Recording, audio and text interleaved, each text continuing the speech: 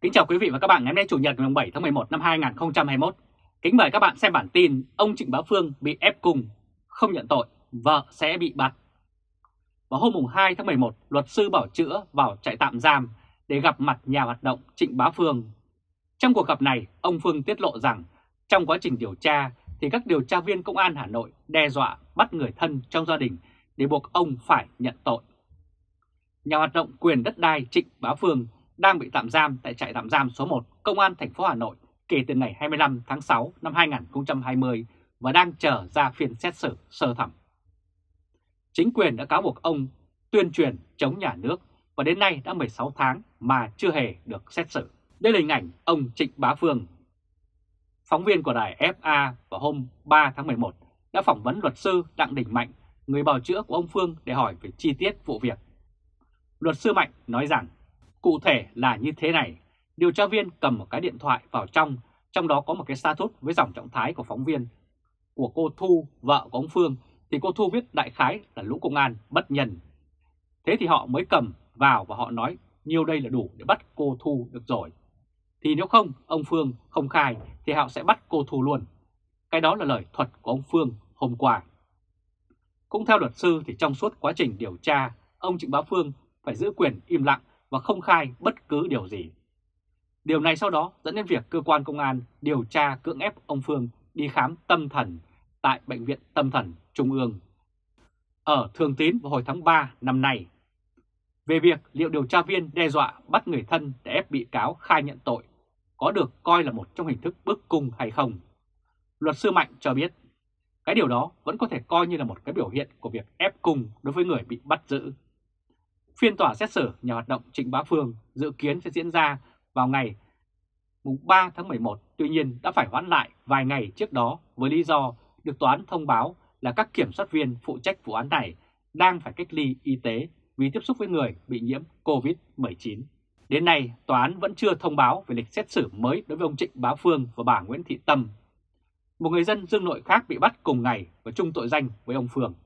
Đây là hình ảnh bà Nguyễn Thị Tâm trong khi các điều tra viên gây sức ép với ông Phương ở trong trại tạm giam, thì ở bên ngoài hồi cuối năm ngoái, vợ của ông là bà Đỗ Thị Thu cũng bị cơ quan công an triệu tập để gây sức ép về các bài viết của bà trên trang Facebook.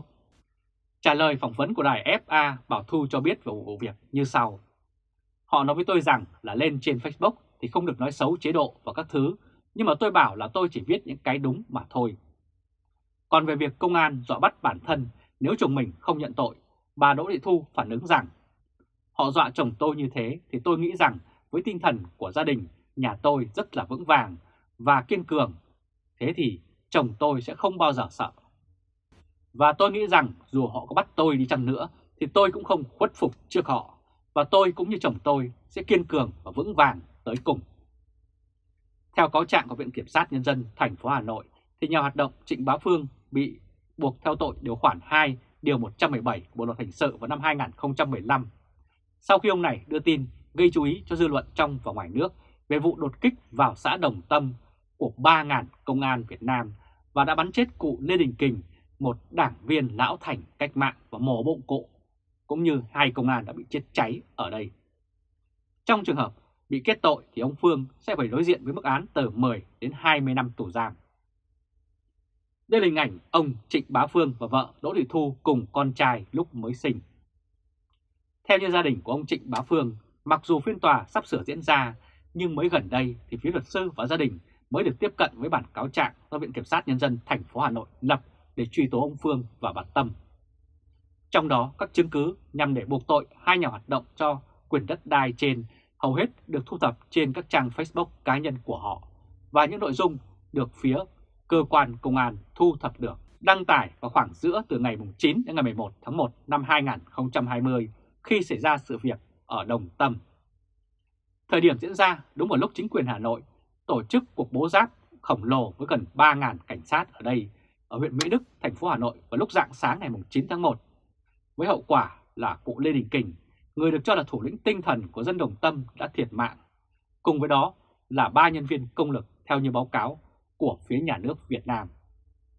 Trả lời phỏng vấn của đài FA, bà Đỗ Thị Thu, vợ của nhà hoạt động Trịnh Bá Phương cho biết thêm. Tất cả các chứng cứ mà cơ quan an ninh điều tra Công an thành phố Hà Nội thu thập trong cáo trạng thì từ mùng 9, 10 và 11 tháng 1, ngày xảy ra vụ chính quyền đem 3.000 quân cảnh sát cơ động tấn công xã Đồng Tâm vào ban đêm, giết chết cụ Lê Đình Kình và bắt đi 29 người dân ở Đồng Tâm. Các chứng cứ cáo buộc chồng tôi gồm hai video phát về vụ Đồng Tâm và 43 bài viết chia sẻ về Đồng Tâm và một cuốn sách tựa đề Cẩm nang nuôi tổ. Đây là hình ảnh cuộc đột kích lúc nửa đêm của 3.000 lính đặc nhiệm Bộ Công an vào làng Đồng Tâm. Bà Nguyễn Thị Tâm cùng với ông Trịnh Bá Phương và một số người dân dương nội khác là những người trực tiếp cập nhật thông tin về vụ việc Đồng Tâm vào thời điểm chính quyền bố giáp vào ngôi làng.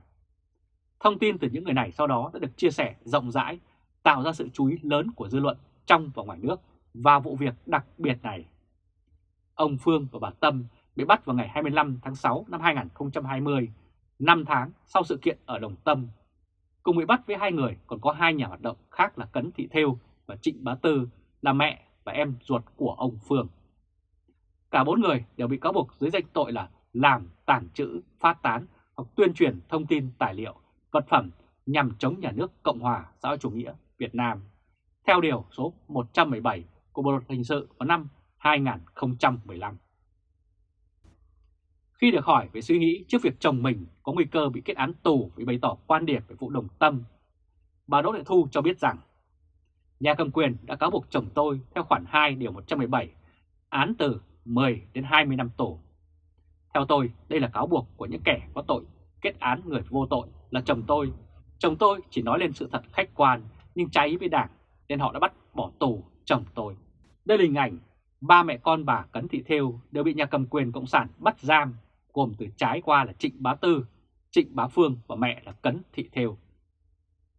Dù họ có kết án chồng tôi bao nhiêu năm chăng nữa thì tôi tin là chồng tôi sẽ không khuất phục. Trước tà quyền của Cộng sản và tôi luôn tự hào về chồng của mình. Hôm 14 tháng 10, gia đình của tù nhân lương tâm Trịnh Bá Tư cho đài FA biết thông tin về việc ông Tư đã bị đánh đập đến mức phải nhập viện để điều trị lúc mới bị bắt giữ. Bà Trịnh Thị Thảo, chị gái của ông Trịnh Bá Tư cho FA biết rằng trong cuộc gặp với các luật sư bảo chữa hôm 13 tháng 10, ông Trịnh Bá Tư kể rằng sau khi bị bắt thì ông bị đánh đập đến mức sưng thận phải nhập viện để điều trị. Cũng theo bà Thảo thì gia đình hoàn toàn không hề hay biết về sự việc này cho đến khi các luật sư được gặp ông Trịnh Bá Tư. Bà Thảo cho biết thêm là phía cơ quan công an sau đó đưa ông Trịnh Bá Tư trở lại trại tạm giam sau quá trình điều tra để tiến hành điều tra tiếp và trong quá trình này ông Tư đã bị dụ cung, bà Trịnh Thị Thảo nói tiếp. Trong lúc thẩm vấn thì Tư có nói là viên kiểm sát viên họ nhục mạ ông Tư. Ông đó tên là Minh, viên kiểm soát viên của tỉnh Hòa Bình. Và trong thời gian điều tra thì các điều tra viên có dụ cung Tư là nếu mà nhận tội thì được án 6 năm, còn nếu không thì nhận án 8 năm. Việc chính quyền đánh đập ông Tư trong hoàn cảnh này có thể cấu thành hành vi tra tấn hoặc ngược đãi vốn bị nghiêm cấm tuyệt đối bởi các luật pháp quốc tế mà Việt Nam đã ký kết. Bản thân ông Trịnh Bá Tư bị buộc tội và kết án tù bằng cách bất công chỉ vì thực hiện quyền con người một cách ôn hòa đã tồi tệ rồi. Đằng này, đến cả sức khỏe và an toàn thân thể của ông ấy cũng bị đe dọa hết sức nghiêm trọng. Và đó là những gì đang diễn ra dưới thể chế độc tài toàn trị ở Việt Nam. Quý vị và các bạn vừa theo dõi chương trình truyền hình trực tiếp của Lê Trung Khoa, Thời báo chấm ngày hôm nay Chủ nhật ngày 7 tháng 11 năm 2021 với bản tin Ông Trịnh Bá Phương bị ép cung, không nhận tội, vợ sẽ bị bắt. Quý vị và các bạn hãy chia sẻ video này cho nhiều người biết và bấm nút theo dõi YouTube và Facebook của Thời báo chấm để luôn được cập nhật những bản tin mới nhất, nhanh nhất và trung thực nhất. Từ Berlin, Cộng hòa Liên bang Đức, chào các bạn và hẹn gặp lại các bạn vào bản tin lần tới.